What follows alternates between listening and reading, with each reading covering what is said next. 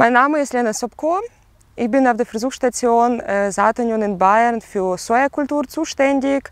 Es heißt von Zuchtgarten über die Versuche bis Produktion herein. Wir machen einige produkttechnische Versuche auch mit den Sojabohnen. Wir befassen uns mit der Thematik Reihenabstand, Saatstärken, auch äh, in erster Linie die Sorten von unseren Züchtern.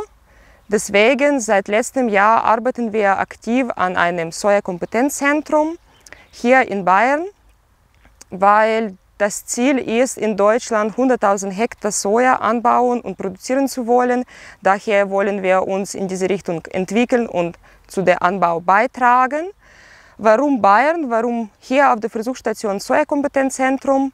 Ganz einfach, Soja kann man überall anbauen, allerdings nicht überall dreschen weil Soja kommt von äh, Regionen sehr hohem Wärmebedarf und Wasserbedarf.